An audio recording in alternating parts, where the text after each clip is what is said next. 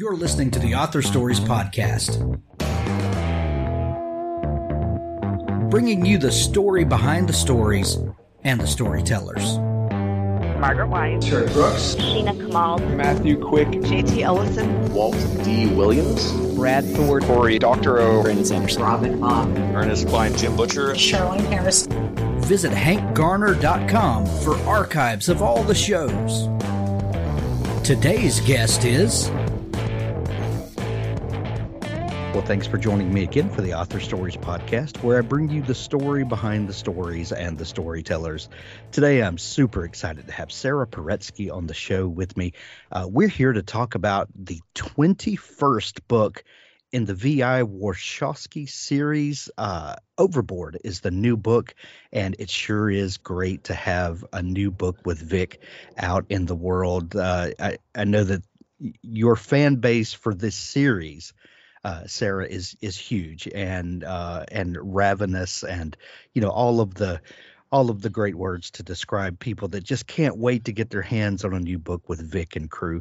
And you have done it once again. Uh, Overboard is a phenomenal book, and uh, it's got some really really interesting subject matter that we're going to talk all about today. Welcome to the show, Sara. Thanks so much, Hank. I'm happy to be here.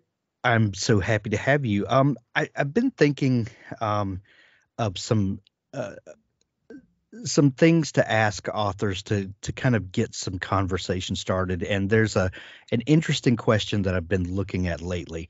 Um, what is a piece of writing advice that you have gotten over the the the path of your career? Maybe it was a piece of just great advice that you've held on to or maybe it was just tragically terrible and you know and and it's laughable at this uh, at this point or maybe you have a piece of each but is there a piece of writing advice that that you've gotten along your journey that has stuck with you good or bad? Well both really. Uh, when i first started this what became this series i i wasn't imagining that there would be all these books about vi warshawski when i started. I was had this goal of trying to prove that I actually could write a novel. I, like many writers, I'd been writing since I was since I was first literate, you know, six, yeah. seven years old, but very privately, just stories and little poems. And I just didn't know if I could do it. And I was struggling with what became indemnity only when uh, Stuart Kaminsky of blessed memory, who taught at Northwestern University just outside Chicago, he was a published crime writer as well as an expert on film, and he offered a night class on writing detective fiction. I signed up for it. I showed him the 60 pages that it had taken me almost a year to write, and he he just gave me such good advice. Uh, some of it was about language. I was using language from the 1930s. It was anachronistic. It didn't work uh, and and he kind of spelled that out. It's one of the things that I pay attention to now. Slang is very ephemeral, and you you use you have your characters speaking in today's slang, especially today with the internet, with language changes like that. Right. Your book is going to be dated before it's in print. So that was helpful. And then the other thing that he felt was because at the time I was working in the insurance industry, and he said, you know, there's not a lot being done with white collar crime. Have your detective specialize in that, and that was a big help too. Then my husband, who um, whom I lost three years ago, and it still still is a hard loss, but he was my first reader always. And he kept saying, too many adverbs, too many adverbs. And I was like, Courtney, you're a physicist. What do you know?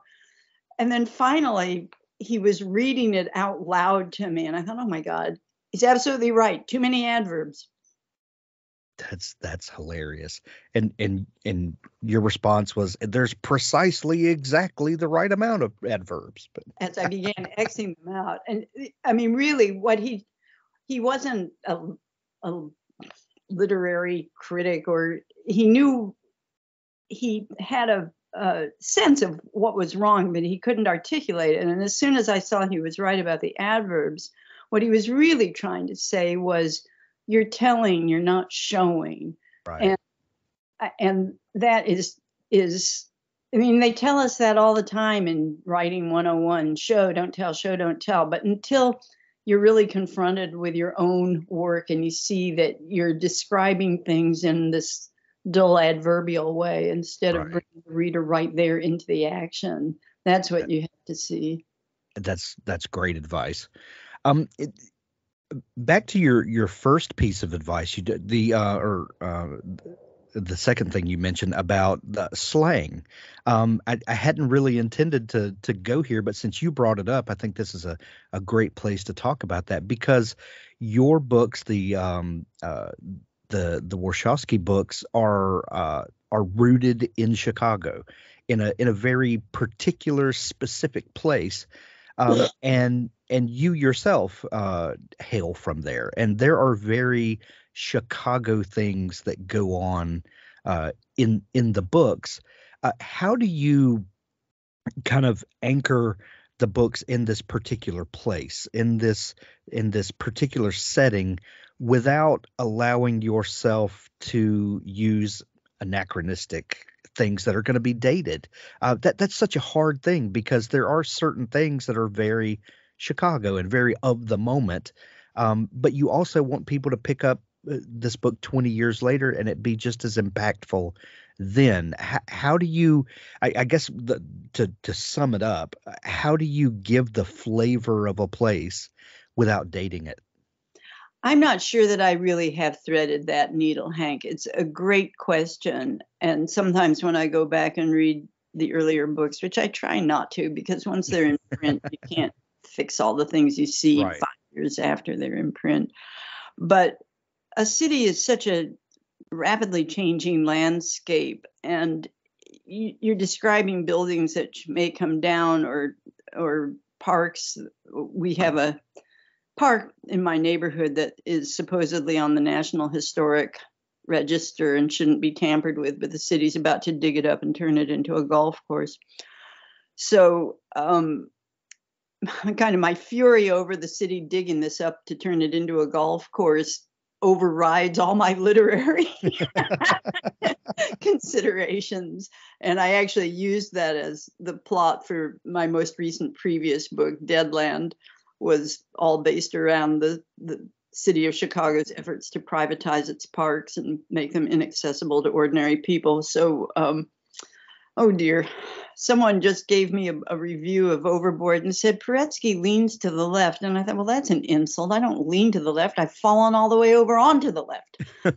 um, but no, really, I'm more about justice and voices of ordinary people and and if if it's left leaning to say you don't want a billionaire running your life, then I uh, I plead guilty. But it does make it hard to not to use landmarks or situations that will be missing even in another year or two years. Yeah. In Chicago, maybe every city is like this or a small town, I don't know. But our previous, several mayors ago, Richard Daley, the famous Daley family, there used to be a little airport landing port along the lakefront, Meigs Field, it was called, that uh, was for corporate jets primarily. I mean, small people who had small planes flew in and out of there. And for some reason, Mayor Daley didn't want that airport. And um, suddenly, and this was during right after 9 11, a couple of years after 9 11, when we were still having red alerts and no fly zones and so on. And Yeah. uh, the country was on red alert. And Daley asked uh, then President Bush for um, to put Chicago in the no fly zone. And he wouldn't. Uh, and so Daley called all of his um, staff in at midnight, and he he said he'll protect Disney World, but he won't protect um, Chicago. And so he ordered the city bulldozers out in the middle of the night and dug up Meigs Field. And I thought, well, you know, that is actually a federal offense, but uh, Bush let it lay. I thought, God, we're lucky he didn't decide to dig up O'Hare because Chicago mayors have an incredible amount of local power. they probably would have done it for him. Wow. That yeah, there there are like you said, it's such a precarious balance to uh, to get the the particulars of a place, the flavor of a place, without um, without dating it. And some things are just out of our control, and sometimes you just have to go for it and just hope that things are lasting because they they may or may not be. Right. Yeah. Um. The uh, Overboard is the the 21st novel in this series. Um, from this vantage point, um, you know that there are certain uh, benefits to writing a long running series. Your your world building, uh, to to kind of pull a term that's more familiar maybe to science fiction and fantasy, but but world building is is a real thing in in all genres. There there are certain aspects that when a reader picks up the new uh, book with Vic and crew in it, you, you know what to expect. You know the landscape. You know uh, at least a portion of the cast of characters, and you, you know that there's not a you don't have to completely set the scene all over again with each book. Um, but also with a long running series, that there are certain things that are more difficult about it. Um, there, uh, you know, how do you keep uh, the the tension? Up with a, a character that we know is going to return book after book? Yes, Hank, that's such a good question. And I think with Overboard, I struggled with that a lot.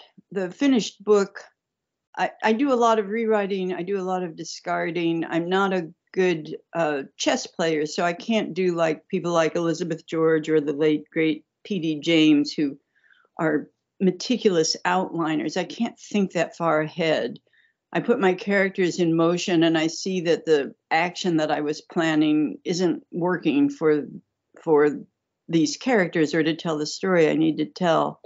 But with Overboard, I kept changing the narrative and the finished book is my seventh different attempt at it it was reassuring to me to start hearing from other writers that the pandemic affected them in simpler ways. That um, that they were having trouble focusing and and keeping keeping their narrative arc in line. And I, I think that was it. It was the uncertainty the fear the lockdown all those things made it really hard to write. Ooh i strayed away from your question though. No that's okay. Um, but it was it was harder with overboard than than I've experienced for a long time.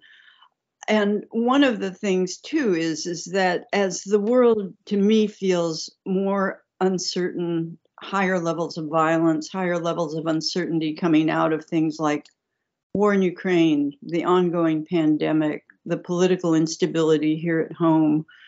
Uh, I don't I don't want my characters to face the kind of danger that is actually out in the world.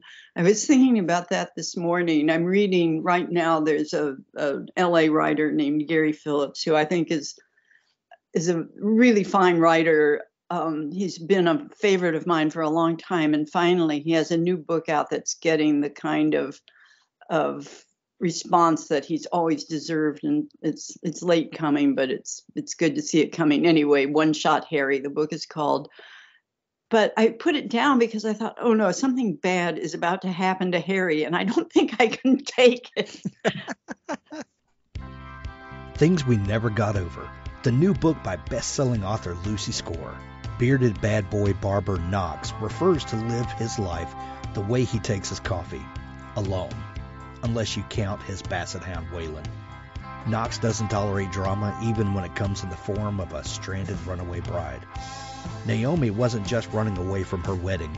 She was riding to the rescue of her estranged twin to Knockemout, Virginia, a rough around the edges town where disputes are settled the old fashioned way, with fist and beer, usually in that order. Too bad for Naomi, her evil twin hasn't changed at all. After helping herself to Naomi's car and cash, Tina leaves her with something unexpected. The niece Naomi didn't know she had. Now she's stuck in town with no car, no job, no plan, and no home, with an 11 year old going on 30 to take care of. There's a reason Knox doesn't do complications or high maintenance women, especially not the romantic ones. But since Naomi's life imploded right in front of him, the least he can do is help her out of her jam. and just as soon as she stops getting into new trouble, he can leave her alone and get back to his peaceful, solitary life. At least that's the plan until the trouble turns to real danger.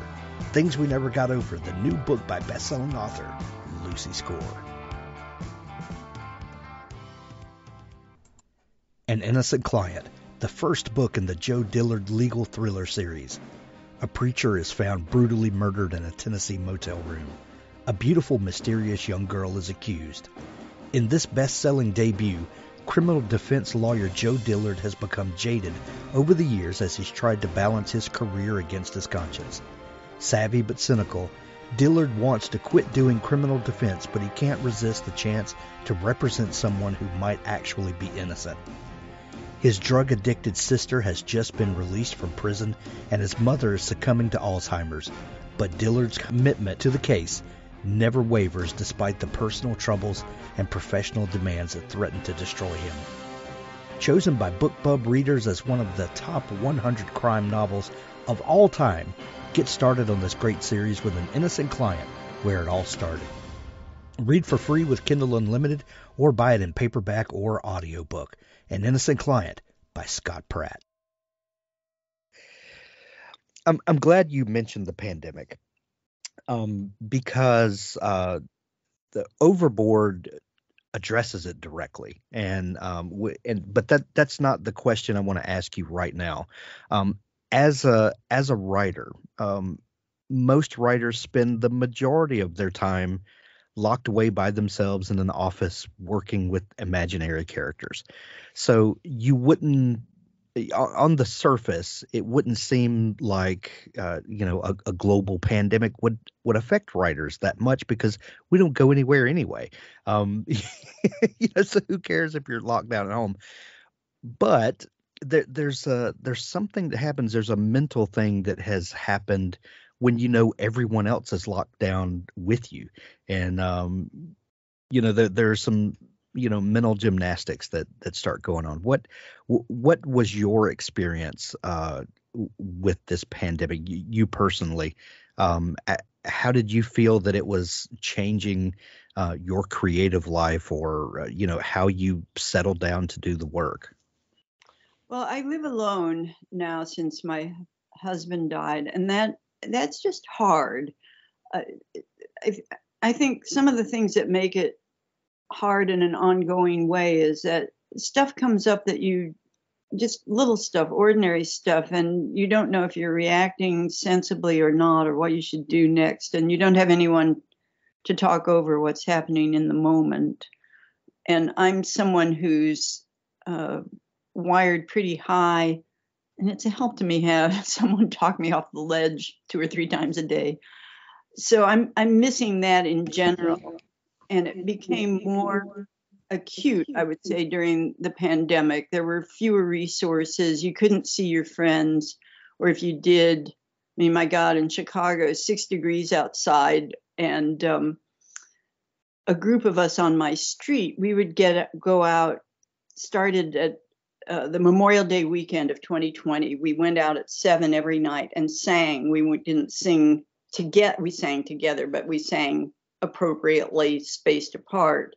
And we just kept that up for the whole first year of the pandemic. Not every night, but three or four times a week. And even, you know, six degrees out in January, there we were bundled up, quickly singing, Let It Snow, Let It Snow, Let It Snow. uh, it was just, it was such a, uh, support to the spirit. But then we'd all turn around and go back inside. Some people had serious family issues they were dealing with. So not being alone was a handicap, and some of us were alone, and that was a handicap. And I think it created greater empathy in a way because you had to be aware of what everyone was suffering. But it also created these challenges of not having someone to talk it through with at the end of the day. Yeah. A, a lot of authors um, with their books uh, that were written during the pandemic or you know have come uh, you know toward the the end of this two year period that we've been in um, have chosen to pretend that it didn't exist, you know, in their fiction. Um, you know, we all live through it. Let's let's don't you know rehash it in our stories.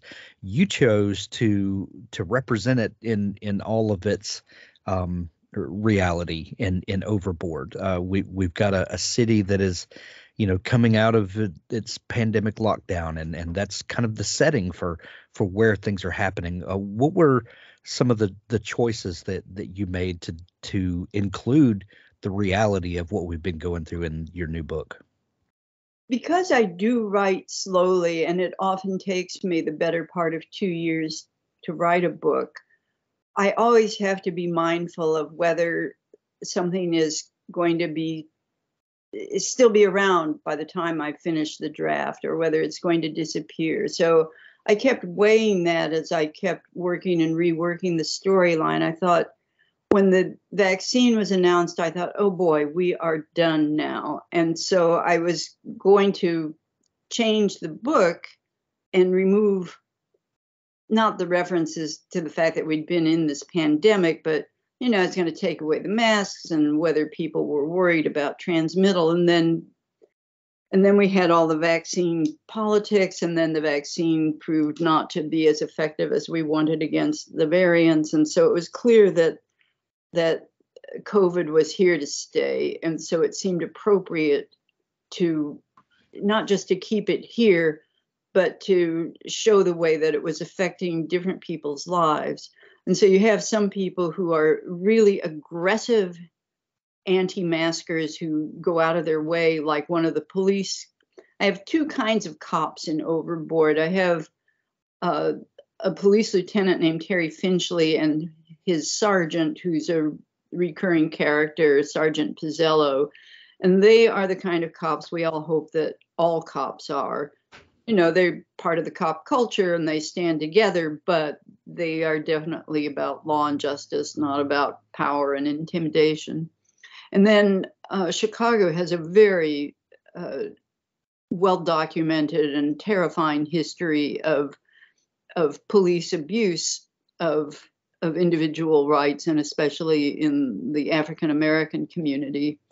And there's a particular um, uh, you can't really call it a station, it's more like an administrative center on the city's near west side where uh, suspects are taken and not and their their whereabouts are not recorded. And there's evidence that once they're in that facility Homan Square that torture does occur.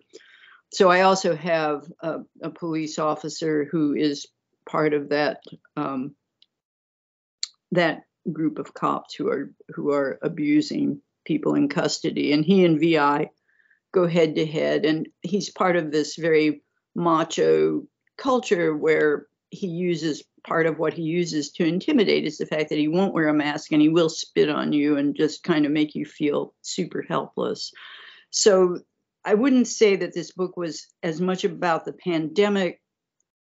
It's not like a medical textbook but it is the way in which people's reaction to the pandemic heightens or you can use their reaction to to underscore what their personality is. Does um, that make sense? yeah absolutely absolutely. Um, sara you you mentioned earlier that um, uh, you are uh, not the kind of writer who lays out a, a complex uh, plot and roadmap from the beginning and then follows that that outline or roadmap as you write.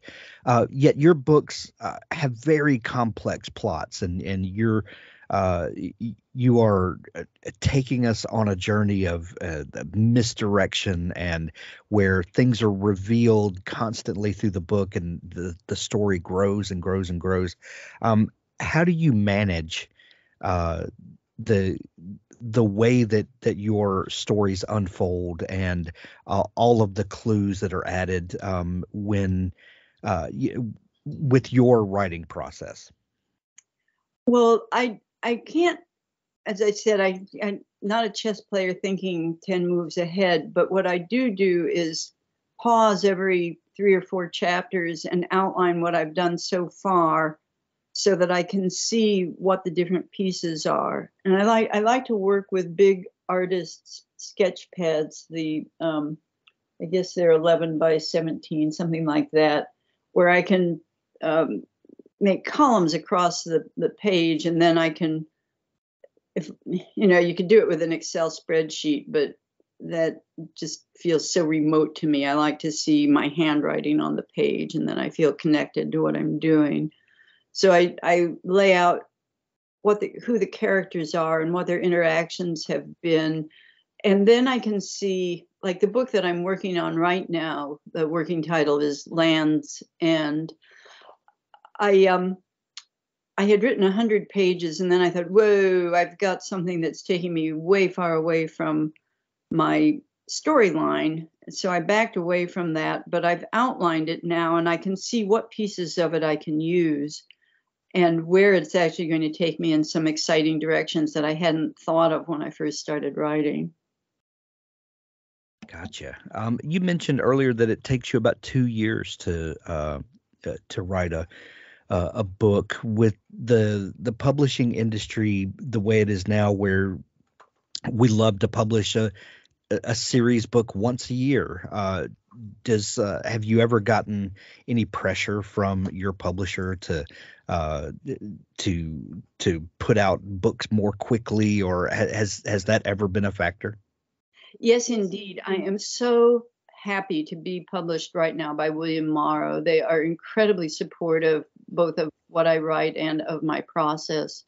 But I came to Morrow from Putnam, and there they wanted me to up my production not to one book a year, but to two books a year. And the, the head of the house oh, actually, oh wow, Chicago, which they never do, because um, uh, Chicago is so far away from New York, they can't even imagine how far away it is.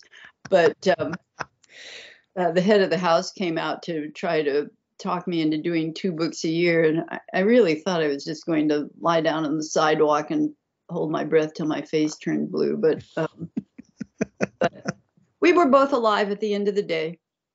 And you know, if I could write that fast, I would. Actually, I write very fast. What I'm slow at is thinking. If I was a uh-huh. faster thinker, I could write three books a year. Oh, so so speaking of that, um, the the thinking is is the most important part of the writing process. You know, uh, sitting down at the keyboard and and pounding out words is is, is the the end result. Um, are, are there things that you use to help you to get into the mind space of the story? Uh, there are things that I use. I'm always I'm always so anxious, hyper before I start work for the day that I have to go through a lot of different little rituals just to get myself calmed down enough to be in the chair. And I worked for many years in in the corporate world and in management and uh, in the insurance industry, and um, it it wasn't a great company in terms of I don't know the job wasn't very interesting. I liked my coworkers, but they did incredibly good employee training. They trained me to be a public speaker. They trained us in how to manage unmanageable employees, but they also trained us in keeping our minds on our project and and um, uh, and they, they had a saying that um, the mind will only function if the butt is in the chair. Um, so I, I try to be mindful of that, but I also I like V.I. Warshawski, like Vic. I sing for fun. I take voice lessons and sometimes just doing vocal exercises, you cannot be thinking of anything else except your breath and the sound. And sometimes that'll just calm me down enough that I can get in the chair and start working. Hmm. With, with a character like Vi that you've written for so long, um, she obviously is uh, is a fictional character, uh, but she's been with you and a part of your life for so long. Um, do you do you ever think of her as a real person? Do I ever think of her as a real person? Not in the way I know some writers I've read review interviews with people like the late wonderful Sue Grafton would talk about talking with with Kinsey and what Kinsey would tell her to do or not to do. Vi, I don't have that kind of relationship with Vi. I would say she's more like the imaginary friend that lonely children sometimes have. But her voice is also, uh, I've stepped away from her for two novels, two full length novels that were totally not uh, anything about the world that VI inhabits.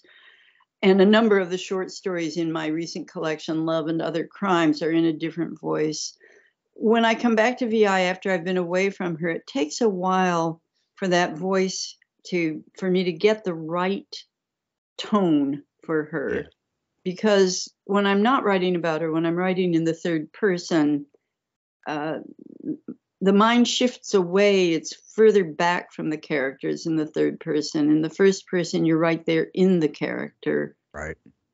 Well, for me anyway. I don't know how it is for other writers. Yeah. Um, are are there ever challenges when when you're starting a new book? You know this is this is book 22 in the in in in her series. Are there ever new challenges or are there obviously there are challenges. Are there ever any roadblocks to finding a new story, a new plot that's going to fit her?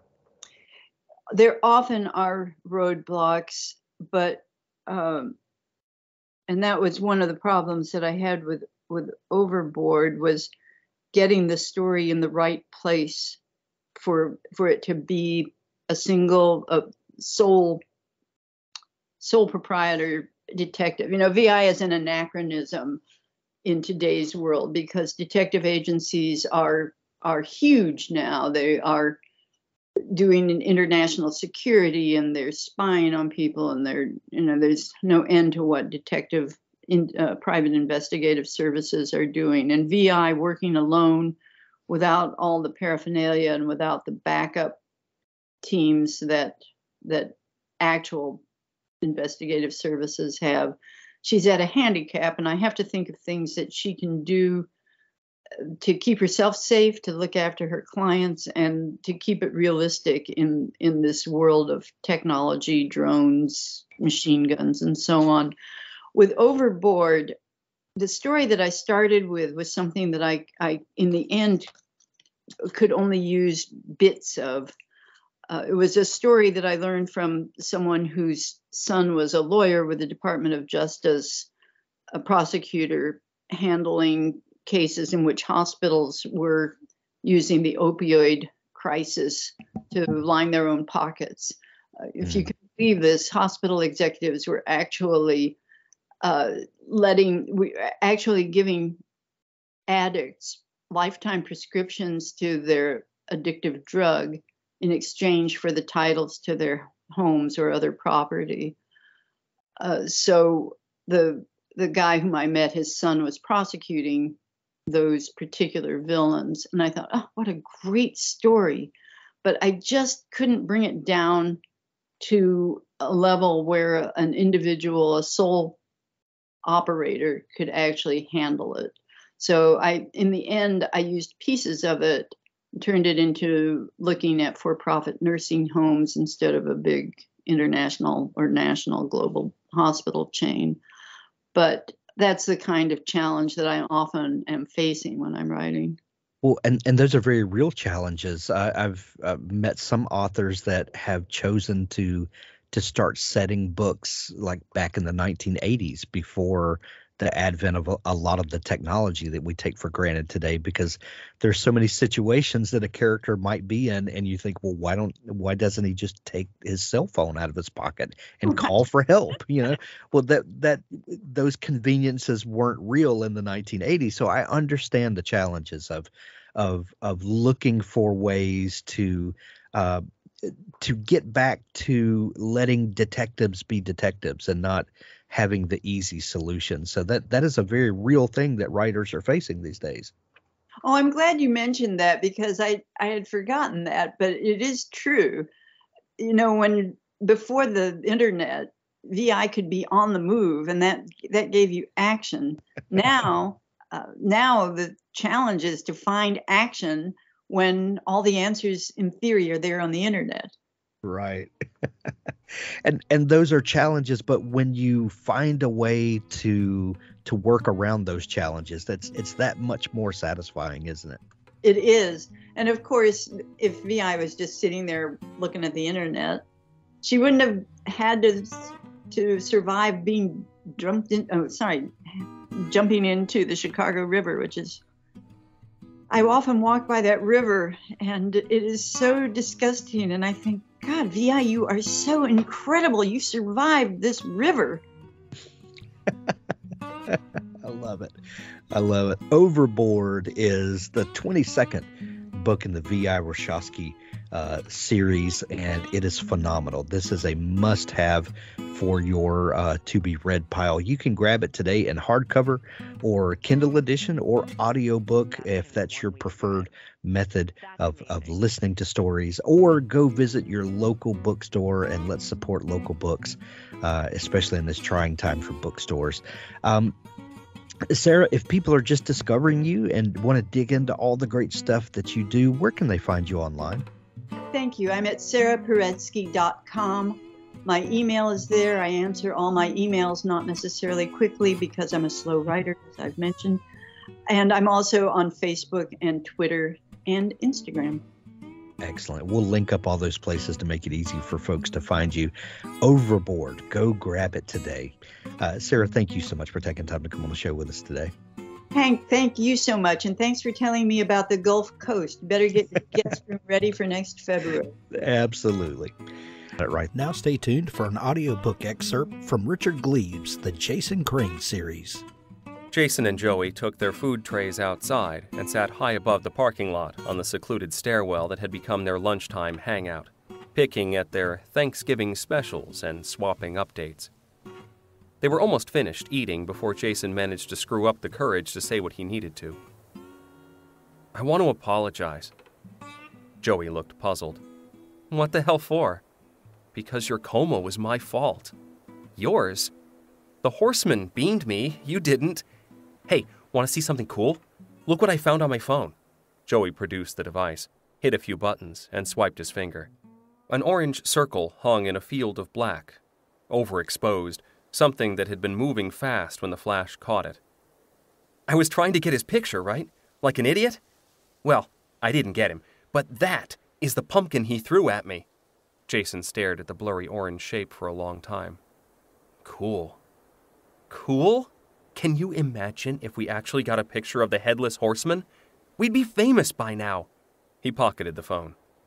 Hey, do you want the rest of this turkey? It looks like bologna. Tastes like bologna, too. He speared the slice anyway. Look, this is going to sound weird, but I think I made you a target. What do you mean? I made you a target by by telling you about my gift. It's some sort of magical rule if we reveal ourselves to a normal person, whoever we tell becomes a target for ghosts, and usually they die. And you told me anyway? No, I'd already told you. There was no way to untell you. Don't be mad. It all worked out, right? Right? Joey's expression had darkened. Give me a second here. And there's a bright side. What bright side? Now you'll have a gift too. Me? That's what your coma was. Some kind of transition. You got targeted, but you survived. You'll be a founder now, like Ichabod.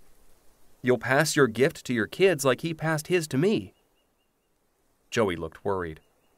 What kind of gift will I get? People get gifts that complement their natural abilities. It could be anything.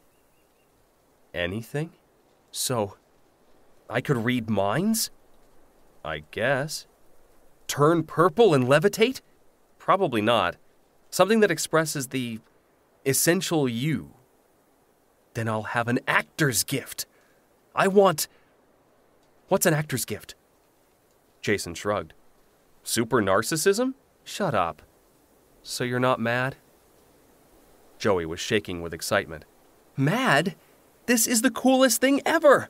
We'll be like the dynamic duo, fighting supernatural foes up and down the eastern seaboard. Jason laughed, feeling epic relief. I thought you'd be pissed. Nah. What's a little coma between friends?